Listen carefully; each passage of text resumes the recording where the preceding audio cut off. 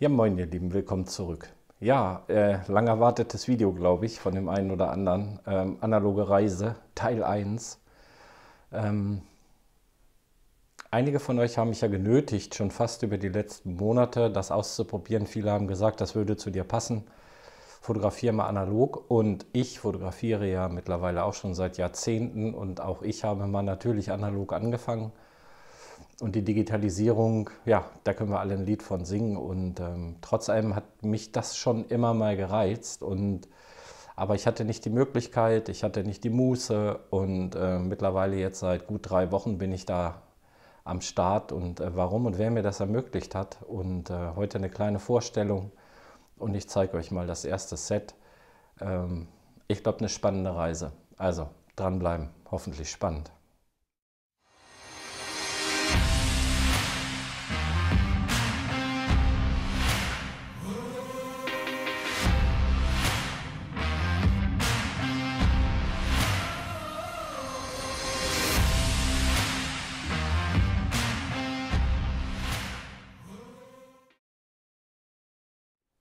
Ja, moin ihr Lieben, willkommen zurück. Ja, nun bin ich drei Wochen dabei, diverse Filme schon durchgejagt. Ähm, ich habe gerade jetzt ein bisschen frei, es sind draußen, glaube ich, 37 Grad, also seht es mir nach, wenn hier ein bisschen was von der Stirn perlt. Ich wollte den Ventilator nicht noch nebenbei laufen lassen, aber ich dachte, hm, so ein kleiner Einstieg dieser Reise ist jetzt schon mal ein Video wert. Und ähm, eine verrückte Geschichte zu Anfang und eine Vorstellung wie das jetzt überhaupt alles so zusammengekommen ist. Ihr wisst ja, dass ich natürlich Leica-affin bin. Ihr wisst, ich nutze Leica M-Kamera. Ich habe jetzt die Q2 Reporter hier. Und ähm, natürlich hatte ich auch schon die letzte, letzten Jahre immer Möglichkeiten, diese Kameras auszuprobieren und ähm, digital. Und ähm, es ist jetzt ja, ziemlich genau vier Wochen her, dass ich über Facebook angeschrieben wurde und ähm, ein netter Kontakt halt, äh, weil ich glaube, ich hatte unter irgendein analoges Bild, irgendwas hatte ich drunter geschrieben. Nee, er hatte eine wunderschöne Kamera gepostet und ähm, da habe ich dann geschrieben, sowas würde ich auch gerne mal ausprobieren. Und dann habe ich über Facebook, ja, man höre und staune, über Facebook, über den Messenger eine sehr nette Mitteilung bekommen wo mich äh, der besagte Herr, den ich euch gleich vorstelle, anschrieb und sagte, Mensch, äh, du, ganz äh, unverbindlich, ich kann dir da gerne das eine oder andere zur Verfügung stellen, dass du es mal ausprobieren kannst. Hm. Nun ist ja sowas, weil ich auch immer weiß, gerade diese Marke da hinten, was für Werte, mit was für Werten man da umgeht und, und, und, habe ich das erst äh, nicht so ernst genommen und dann schrieb er mir nochmal und dann haben wir tatsächlich telefoniert und ähm, dann war ich schon ziemlich geplättet. Von daher fangen wir mal damit an, dass ich euch jemand vorstelle. Der liebe Mensch, über den ich berichten möchte, heißt Horst K. Berghäuser. Im Nachhinein ist er mir bekannt, weil, äh, komme ich aber gleich dazu, jedenfalls haben wir telefoniert und es stellte sich dann heraus, dass ich es hier mit einem absoluten Profi zu tun habe. Also es gibt ja Menschen, die mit Kameras handeln, es gibt Menschen, die Kameras sammeln, beides tut er auch. Aber er ist halt auch ein absoluter Profi, denn er war, ist Berufsfotograf und extremst in den 90er Jahren beim Axel Springer Verlag angestellt. Wie sagte er so schön, Berufsbezeichnung als Fotograf für besondere Aufgaben. Das heißt, er war mit Spitzenpolitikern, Menschen des öffentlichen Lebens, Schauspielern, Weltstars unterwegs und zwar auch im privaten Bereich unterwegs. Und ähm, ich hoffe, ich, er hat jetzt, ich habe jetzt einen Kontakt zu Michael Birnbacher hergestellt, dass er im Leica Enthusiast Podcast halt ähm, jetzt irgendwann mal sein wird. Und ich hoffe auch, weil er kommt oder er lebt jetzt in Berlin, gebürtig kommt er, wie kann es anders sein, seiner kleinen Stadt, äh, ganz in der Nähe aus Wetzlar. Und seine Mutter lebt auch noch in Wetzlar, so habe ich das verstanden. Er ist jetzt auch gerade noch akut in Wetzlar. Wir waren da im Urlaub und sind dann, glaube ich, weitergefahren. Auf jeden Fall ein Profi. Also jemand, der nicht nur Leica-Enthusiast ist, Leica-Sammler ist, sondern halt auch Profi. Also wenn nicht er, wer kann was über diese Kameras und Objektive aus der Praxis, aus dem täglichen Umgang äh, berichten als er. So haben wir halt telefoniert und ähm, mir war im Vorfeld bekannt, denn immer wenn ich mich über Objektive oder Kameras äh, informiert habe, bin ich über Google und über, ich glaube, ich habe es auch als Favorit gespeichert. Er schreibt halt einen Blog, er hat eine Seite, ähm, blende ich jetzt mal ein und verlinke alles, was mit ihm zu tun hat, natürlich unten im Video. Und ähm, das ist, war für mich so die Endsy, also, die, also da war irgendwie alles zu finden. Da konnte man, egal welches Objektiv, man hat irgendwie eine sehr objektive Meinung bekommen, man konnte nachvollziehen, äh, mit was man es zu tun hat. Ähm, ähm, ganz wunderbare Seite, roterpunkt.de, also ich verlinke alles, könnt ihr mal drauf gucken. Und jetzt wurde mir klar, wer dahinter steckt. Und ähm, klar hat er auch, ähm, habe ich mal auf seiner Instagram-Seite, sieht er auch mal ein bisschen, also er hat sie wirklich alle vor der Kamera gehabt, teilweise Helden meiner Jugend, Politiker, Menschen, die nicht mehr unter uns weilen, hochinteressante Menschen und ähm, das natürlich alles mit Leica. Also fotografiert seit über 50 Jahren, seit seinem 10. Lebensjahr, da hat er angefangen und ähm, hatte über ab, glaube Leica M2 bis dann M6 und jetzt später dann, er hat die Q, er hat die SLS, er hat die M, was weiß ich. Also ich glaube, eine, ich habe sie noch nicht in Natura gesehen, eine der umfangreichsten Sammlungen. Und das Schöne ist, er sammelt die, aber er benutzt die halt auch. Und er bietet hier und da, er ist dann nicht darauf angewiesen, ist auch heute ein erfolgreicher Geschäftsmann, hier und da Kameras zum Verkauf an. Auch das verlinke ich unten. Es gibt einen Ebay-Shop, der ist, glaube ich, ab 8. August, wenn er aus dem Urlaub kommt, wieder auf. So, wenn man denn möchte, kann man da Kontakt aufnehmen und halt sich über den Blog und über seine Seite, über alles, was mit dem Thema zu tun hat, informieren. Er hat natürlich beste Kontakte direkt zu Leica, auch direkt zur Zentrale, er kennt die Menschen dort. Und von daher war das für mich natürlich eine hoch, hoch interessante Geschichte jetzt. Und wir haben dann in dem Telefonat gesagt, Mensch, pass auf, komm, du kannst mal was ausprobieren, du kannst mal was testen. Und er wollte mir gleich mehrere Sachen testen. Ich habe gesagt, wir fangen jetzt erstmal an dass ich da erstmal reinschnuppere und äh, bin da jetzt schon nach zwei Wochen intensiver Nutzung absolut dankbar. Ein wunderschönes Set, was ich euch gleich nochmal zeigen werde.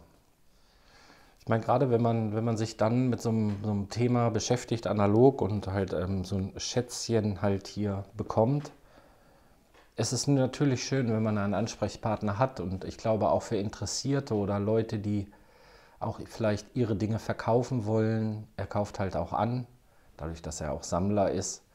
Ähm, oder wenn man etwas kaufen möchte, wir haben da auch drüber diskutiert, ähm, ist er halt schon da eine ganz eigene Philosophie hat. Er sagt, wenn ich dann auch mich mal von Dingen trenne, die, die ähm, gehen teilweise vorher zum Service und, und, und, und, und. Also eine super Adresse und vor allen Dingen halt, ähm, da ist ein Profi. Also da ist jemand, der sein Handwerk versteht und nicht nur Handel betreibt, sondern der auch wirklich genau dir sagen kann, das Objektiv mit der Kamera oder das und das ist aus den und den Gründen dann und dann gebaut. Er hat diese Kontakte heute auch noch direkt in die Produktion zu Mitarbeitern. Und äh, das, ist natürlich, das sind natürlich tolle Geschichten. Und so ist es gekommen, dass wir uns, äh, als er in den Urlaub gefahren ist, haben wir uns hier direkt an der A2 auf dem Autohof das erste Mal in die Augen geschaut und ähm, hat dann mir den Karton übergeben, wo dann halt die Kamera, das Set drin war, äh, äh, ja, das Ganze, weil die wollten auch weiter, die wollten ja noch Richtung Wetzlar. Hat dann nur ein paar Minuten gedauert dann stand ich da mit meinem Set und äh, bin ja immer noch, äh, habe höchst hoch, hoch Respekt vor solchen äh, Dingen, was für mich alles nicht selbstverständlich ist. Zack, und da war er weg und ich stand dann da jetzt mit einer Kamera und zwei Objektiven. Und die Kamera, die möchte ich euch jetzt natürlich mal ein bisschen zeigen. Ja, wir haben dann gesagt, okay, ich, ich würde gerne erstmal mit einer M6 analog anfangen. Äh, die hat halt eine Belichtungs, Belichtungsmesser drin, gerade wenn man sich dem Thema wieder so nähert, wobei ich sagen muss, äh, so ab dem zweiten Film findet da echt ein Umdenken statt. Man erinnert sich wieder an die Dinge von früher. Und ähm, ja, ein, ein, ein traumhaftes Set. Also die M6 in der Titanium Legierung, Ausführung, ähm, ist optisch und haptisch so eine wunderschöne Kamera. Das ist wirklich ein Panzer. Ich glaube, da kann man wirklich mit dem Auto drüber fahren. Ähm, ist so massiv, aber auch so schön von der, von der Optik her und von der Haptik vom Anfassen her. Dazu hat er das ähm, 50 mm Sumilux 1.4 und das 35 mm Sumilux 1.4, also beides ohne ASBH, 35 und 50. Das war das Set, was ich jetzt hier habe, hatte. Und ähm, damit bin ich halt losgezogen. Und ähm, also im erstklassigen Zustand. Ich würde alle drei Dinge als neuwertig bezeichnen. Unglaublich. Äh, das ist bei mir natürlich dann auch gleich wieder Respekt. Äh, traut man sich eigentlich kaum mit loszugehen. Wobei, Mann, das, dafür sind sie gemacht. Und ähm, funktioniert alles tadellos. Also ist traurig, habe ich hunderte Videos, in hunderten Videos gesagt. Ich weiß jetzt gar nicht, wie alt die sind. Das wissen wahrscheinlich Spezies oder vielleicht kann Horst mir das sagen nochmal, aus äh, was für einem Jahrgang die stammen. Ähm, also tipptopp, alles tipptopp. Macht total Spaß damit zu arbeiten und habe jetzt diverse Farb- und Schwarz-Weiß-Filme schon durchgehauen. Ich habe jetzt äh, einen guten Kontakt zu einem Labor in Hamburg. Wie sollte es anders sein? Chrom, äh, das ist der Oliver und Anatol Kotte, ähm, auch ein Spitzenfotograf, die dort halt äh, den Laden Chrom aufgemacht haben. super Vintage-Laden, die dort halt ähm, für mich so eine, ja, so eine kleine Ausnahme jetzt gemacht haben, dass ich das hinschicken kann. Ich warte jetzt heute gerade aktuell auf die ersten Ergebnisse und wenn ihr auf die Ergebnisse wartet, ich habe ja auch Photowalk-mäßig gefilmt, das machen wir gesondert. Ich wollte euch heute den Horst unbedingt vorstellen. Ich wollte euch die Kamera zeigen. Ähm, er sagte mir auch bei der Übergabe, er wäre eventuell, würde das auch, vielleicht will er das auch verkaufen. Also wer um Himmels Willen so eine M6 Titanium sucht oder schwer findet oder sich nicht sicher ist, ob die tadellos ist, das wäre hier ein Set, was ich erstens jetzt seit roundabout etwas über zwei Wochen hier jeden zweiten Tag benutzt habe. Es, sie hat nicht eine Schramme, es, alles läuft tadellos wie geschmiert und ähm, absolute Empfehlung. Wenn ihr ihn ein bisschen näher kennenlernen wollt, geht mal auf seine Seiten. Ich habe das unten verlinkt, also auch diese Blogbeiträge sind äh, super gemacht. Wer sich für, die, für, die, für für das Thema Leica interessiert und kein Buch kaufen will, da findet ihr alles. Ähm, Spitzen, spitzenmäßig geschrieben, sehr fundiertes Wissen. Er macht auch Fototouren Berlin, habe ich gesehen. Also ein, ein Tausendsasser. Und ich glaube, wer eine Frage zum Thema Leica hat, kann ihn auch, ähm, gibt es über seine Website genug Möglichkeiten, Kontakt aufzunehmen. Ich denke, er ist da auf jeden Fall bereit zu antworten. Und ähm, ich freue mich schon sehr, wir sind ja nur anderthalb Stunden auseinander maximal, ähm, dass wir uns jetzt mal irgendwann in Ruhe treffen. Ich weiß nicht, was noch jetzt kommt, was wir in Zukunft noch machen werden, aber ähm, ich brenne darauf, mich mit ihm auszutauschen und zu sprechen. Aber der erste Eindruck, ein sehr herzlicher, unkomplizierter, aber dennoch sehr, man merkt, wie gesagt, das ist ein Profi. Mensch, der dahinter steht. Und äh, ja, die Geschichte wollte ich euch erzählen. Wo kommt die Kamera her? Wie ist das jetzt gekommen? Bilder, wie gesagt, erwarten euch in Kürze in Verbindung mit Photowalks. Ich zeige die ungeschminkte Wahrheit meiner analogen Reise Teil 1, wenn ich aus Hamburg dann die Scans bekomme, äh, auch die totale Grütze sind. Und ich glaube, gerade beim ersten Film waren da einige totale Grütze. Da sprechen wir drüber, die zeige ich ungeschminkt. Meistens zeigt man ja immer nur die besten Ergebnisse. Aber ich will euch ja mit auf diese analoge Reise nehmen und bin ja selber genauso neugierig. Also, alle Links unten drin, schaut euch diesen Menschen an. Und äh, ich wollte ihn vorstellen, sein Ebay-Shop müsste ab 9. Der ist auch ganz neu, weil bisher hat er nicht äh, offiziell verkauft und ähm, ja, der Mann ist da auch nicht drauf angewiesen, aber dennoch, glaube ich, kann man bei ihm absolute Schätze mit erstklassiger Qualität erwerben. Von daher schaut da gerne mal rein und ansonsten lest euch mal rein. Also, das wollte ich euch erzählen. Gebt mir mal ein Feedback, wie ihr die findet oder wer die M6 hat oder vielleicht auch die Titanium hat oder ich weiß, da kommen vielleicht jetzt noch ein paar andere Kamera, viel, viel älter und da bin ich schon gespannt. Okay, ich hoffe, es war wertvoll von euch, kleine Geschichte. Das sind so Dinge, auf die man, ja, die einfach so kommen.